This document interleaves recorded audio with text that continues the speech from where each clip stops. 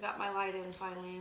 It works a lot better. But um, I wanted to go over a post, Mark's post. We have a we have a really really really great team, and he put this together so that he could help explain things, so that y'all can get a better understanding of what's going on. When I show like the magnetosphere, magnetopause, you know things like that, some people are like, "What am I looking at?" This helps explain it. So I'm gonna read this right here. Okay. Here we go. Okay. And now we got a strong magnetic disturbance in Earth's magnetic field, which did not come from the sun's solar wind. The barrage hit Earth's magnetosphere from below under the ecliptic and caused major disruption as the electromagnetic particles interacted. And so when it looks like this, that's like a heavy disturbance, heavy magnetic disturbance. So we are still in our backside alignment part of the solar system with the approaching brown dwarf star and companions on the opposite side of the sun in relation to where Earth is in our orbital path. Here's a rough illustration. This is looking, uh, looking from above the ecliptic.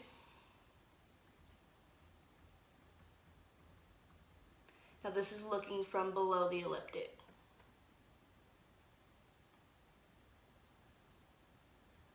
so you get a better understanding of the graphs, magnetosphere, etc. Okay. We are, okay, what we are seeing here is a side view of Earth, not bird's eye. The sun is to the right of the image. So, okay, this kind of shows where Earth is, where the magnetic disturbance is, and then you can also see where the sun is. The solar wind is a stream of energized charged particles primary electrons and protons, flowing outward from the sun, plasma. The solar wind stream comes from the sun on the right, Earth, okay, on the right. Earth is the ball in the center, and now the white side is day side, the black side is night side. The lines you see coming from the center of the Earth, top and bottom, are magnetic field lines from the north and south poles. In front of Earth, the lines from top and bottom create a magnetic force field called the bow shock. The magnetosphere, or magnetosphere, that's Earth's protection from the charged particles coming from the solar wind from the sun. Remember that shows where the sun is. The bow shock, or bow shock. Some people say it differently. Okay. The magnetic field lines behind Earth, the magnetopause and magnetotail, are disrupted due to electromagnetically charged particles hitting the magnetosphere from below. This is what scientists classes as normal versus disrupted. So normal versus severely compressed. So when we say, hey, this is being compressed, that's what that means, okay?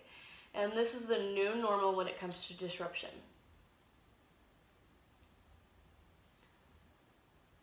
Cosmic radiation charged particles. Okay, so the solar, okay, so hold on, let me look at this real fast. Our magnetosphere can be disrupted without it affecting the Schumann resonance. That's true. The only way the Schumann, er, okay, that's a hard way, that's really a hard word for me to say, Schumann resonance. I always call it Earth's heartbeat, but the Schumann resonance can be affected, okay, the only time the Schumann resonance can be affected is when we have high ionospheric charging.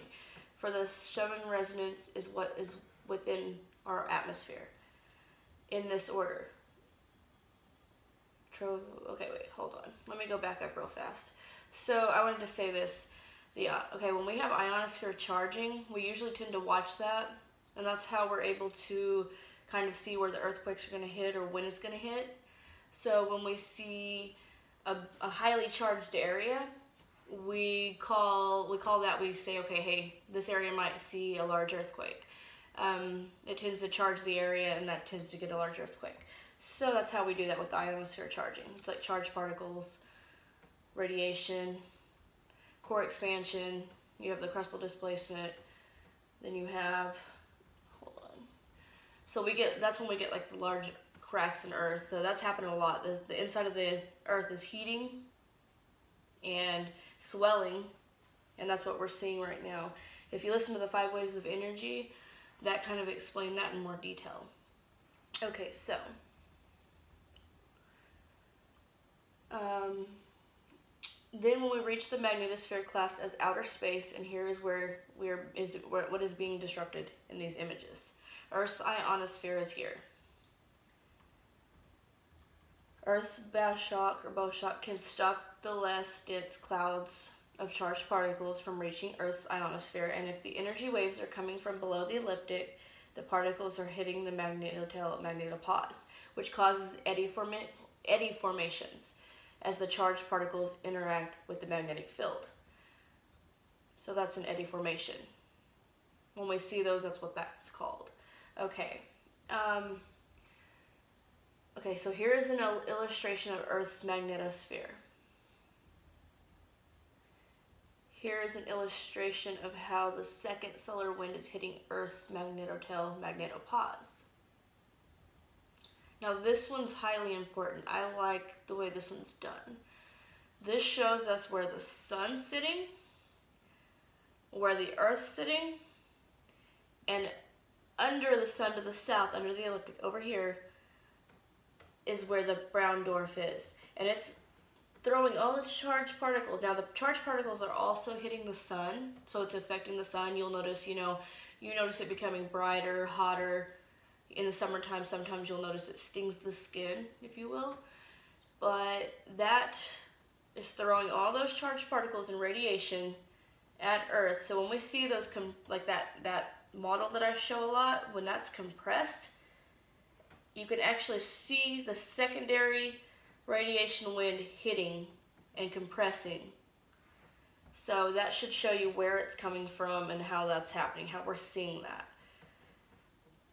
So that's all I have on here for that. Now I'm going to give you the full link because he has so much on there. You have to go take a look at that. There's tons of information.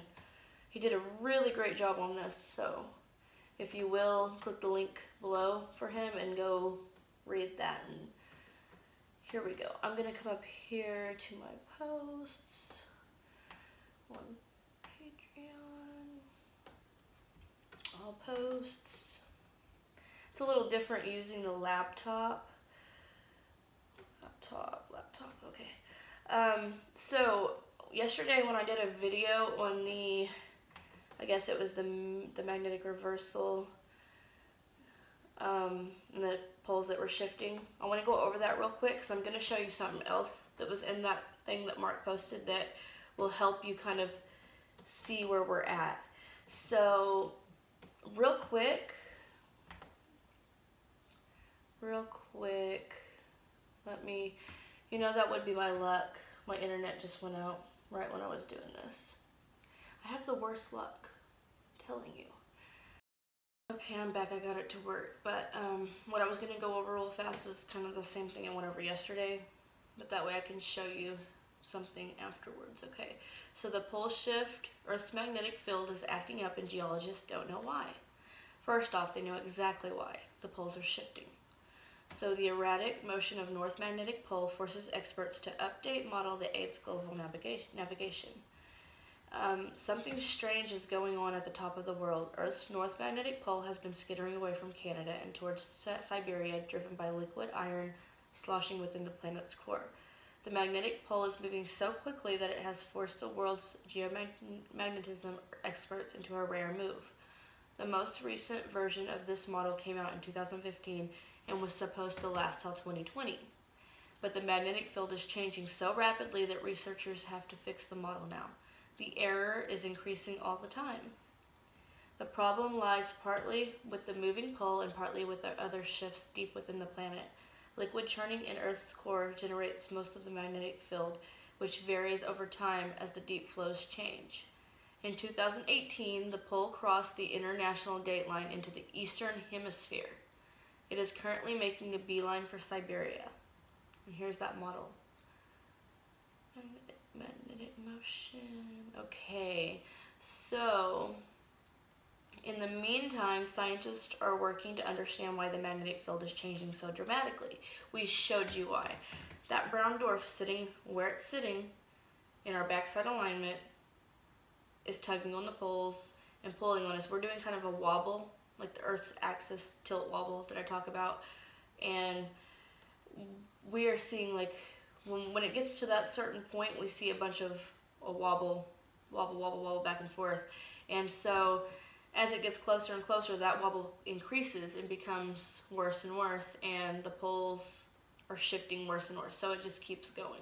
As it gets closer, now wait, before I do anything, I really want to show you this. I want to show you that thing one works. Okay, let me go over here. Okay, so this right here, this is what he said. He said, this is how much the magnetic North Pole has moved. When we reach the 40 degree point, magnetic reversal is imminent. The closer the system gets, the more degrees we move. So expect this to begin to move faster than previous years. Stay vigilant.